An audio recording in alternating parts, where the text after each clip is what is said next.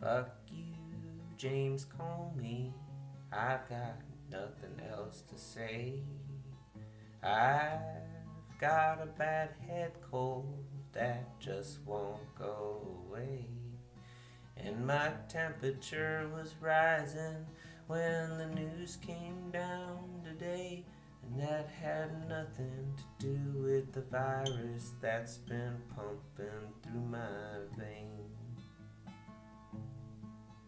So fuck you, James Comey. Just seriously, fuck you. Fuck you and your cohort. I'm so tired of you dudes. I'm so tired of your bullshit. Your presence is a curse.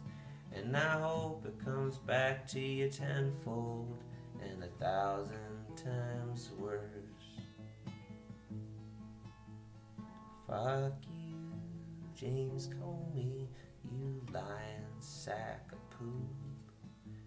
You try to act all innocent, but it's easy to see through. And I'm so tired of this circus. I'm so tired of this mess. I can't believe we had to fall back last night another hour in distress.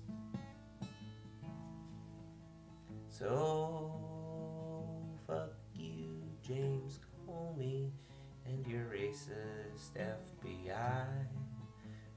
Being awful for a hundred years and a thousand miles wide.